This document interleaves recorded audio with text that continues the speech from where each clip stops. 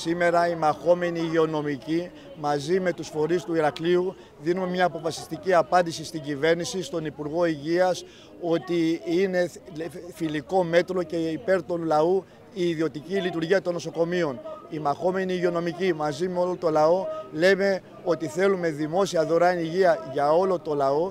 Οι υγειονομικοί δεν είναι κεφαλές ασθενών, έχουμε σπουδάσει για να κοιτάζουμε τον άνθρωπο και τον ανθρώπινο πόνο και όχι να τον κοιτάμε στην τσέπη.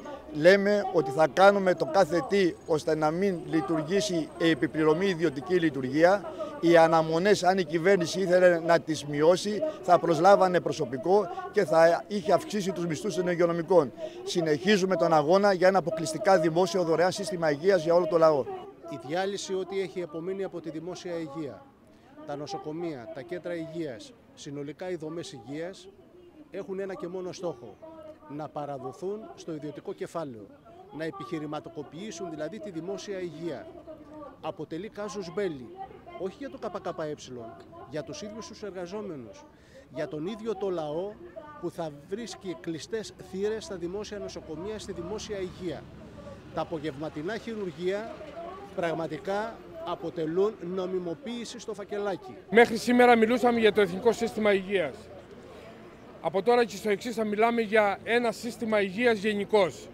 Από τη στιγμή που τρία βασικά συστατικά του Εθνικού Συστήματος Υγείας, που είναι η πλήρη αποκλειστική απασχόληση όλων των εργαζομένων, το δημόσιος και κοινωνικός χαρακτήρας του και η ισότιμη πρόσβαση των πολιτών σε αυτό καταστρατηγούνται, πάβουν να υπάρχουν, δεν μιλάμε πλέον για εθνικό σύστημα υγείας. Με ότι αυτό συνεπάγεται στο μέλλον τόσο για τους εργαζόμενους όσο και για τους συμπολίτες. Σήμερα όλοι οι υγειονομικοί είμαστε εδώ συμβολικά για να δείξουμε την αντίθεσή μας σε ένα θεσμό που βάζει το χρήστη υγείας να πληρώσει για να μπορέσει να εξυπηρετηθεί μέσα στα δημόσια νοσοκομεία.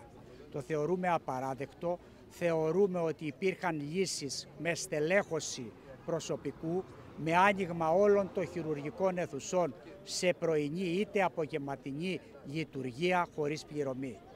Θεωρούμε ότι υπήρχε η δυνατότητα να γίνει και όχι ο ασθενής να αντιμετωπίζεται σαν πελάτης με πληρωμή για να μπορεί να βρει την υγεία του.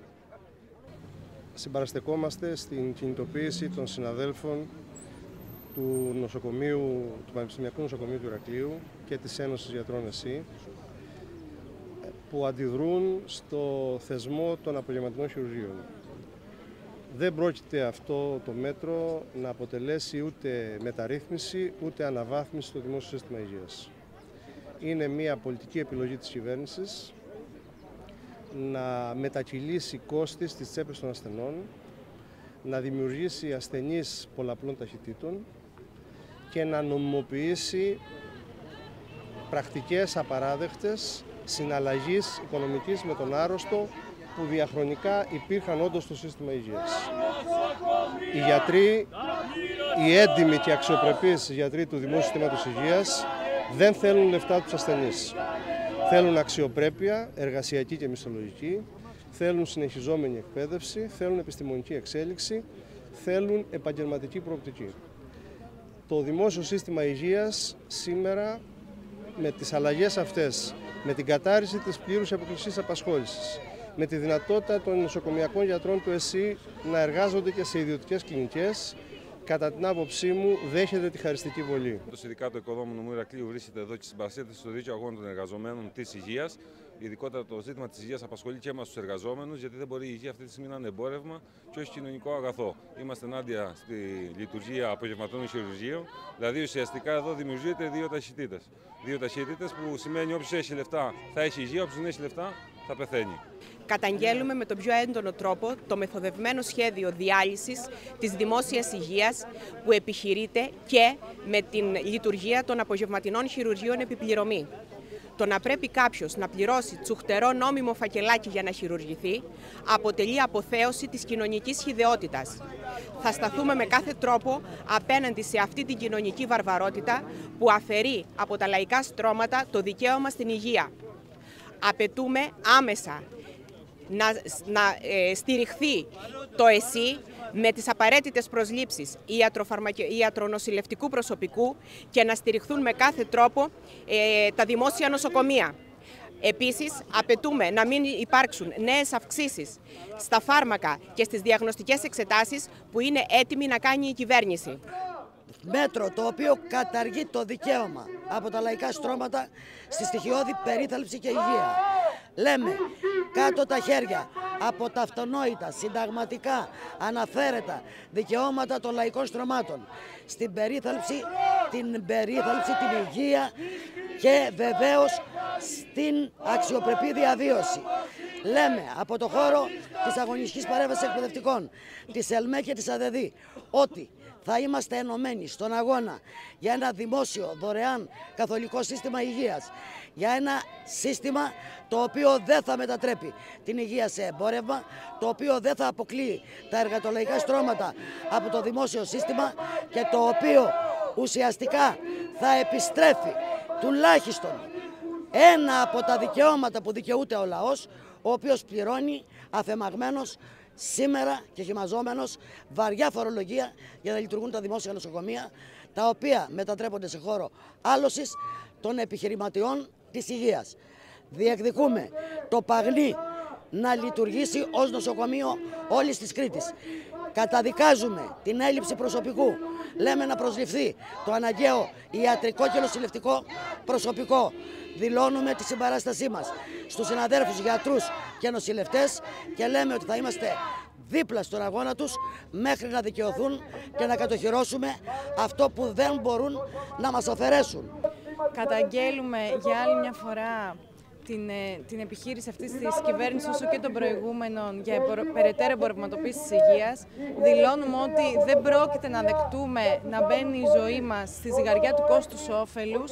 Δεν πρόκειται να δεχτούμε να λειτουργήσουν πληρωμή χειρουργία και ουσιαστικά να διαλέγουν ποιοι ασθενείς πρόκειται να ζήσουν και να χειρουργηθούν άμεσα, δηλαδή όσοι έχουν χρήματα, και όλοι οι υπόλοιποι να περιμένουν ατελείωτου μήνες έως και χρόνια για να χειρουργηθούν. Δηλώνουμε λοιπόν και από εδώ ότι θα συνεχίσουμε τον αγώνα μας μαζί με τους υγειονομικούς είναι αγώνας όλου του λαού, είναι αγώνας όλων των εργαζομένων και απαιτούμε εδώ και τώρα να δοθούν χρήματα για να στελεχωθούν και με το, το προσωπικό που χρειάζεται αλλά και με τον απαραίτητο εξοπλισμό τα νοσοκομεία της πόλης μας. Θα θέλαμε σήμερα να καταγγείλουμε την έναρξη λειτουργίας των απογευματινών χειρουργείων επιπληρωμή που μπαίνει πραγματικά σήμερα η ταφόπλακα στο δημόσιο νοσοκομείο. Καθιερώνεται σήμερα το νοσοκομείο ΑΕ, το νοσοκομείο επιχείρηση.